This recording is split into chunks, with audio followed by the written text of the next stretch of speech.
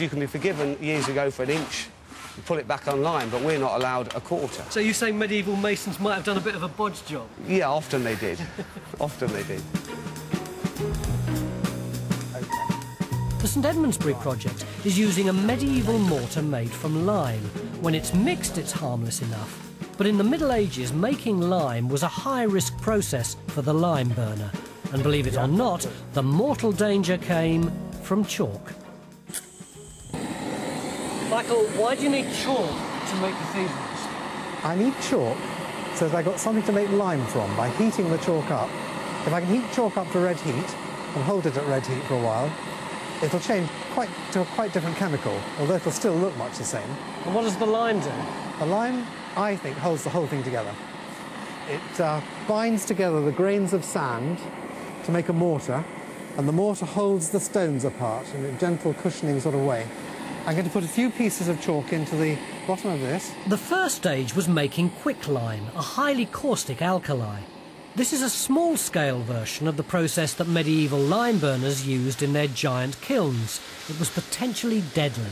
Keeping the lime kiln happy means watching it day and night for perhaps 48 hours. If the burning isn't completely effective, they can create carbon monoxide. What does that do to you? It's horrible. It paralyzes you first and then kills you. It poisons your blood, stops your blood taking in oxygen.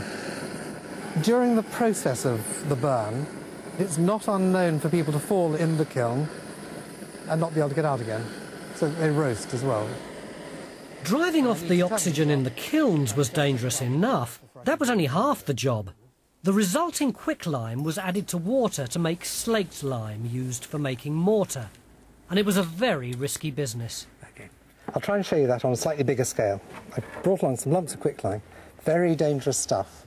Why I'm wearing gloves, because they'll eat through my hands in no time at all.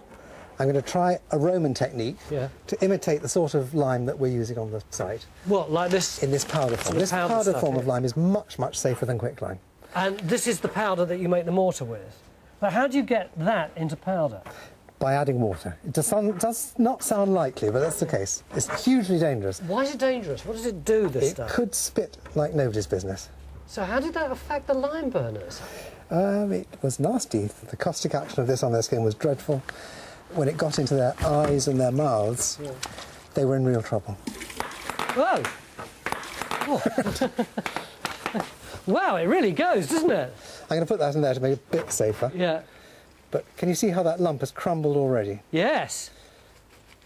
That was like fireworks. Quicklime oh. is very thirsty material. I mean, if any of that got on your skin, it could be very painful. And they'd be handling this stuff every day, and the risk of carbon monoxide poisoning, and the quarrying, and the long nights, and the dust. They didn't live too long. It was over quickly.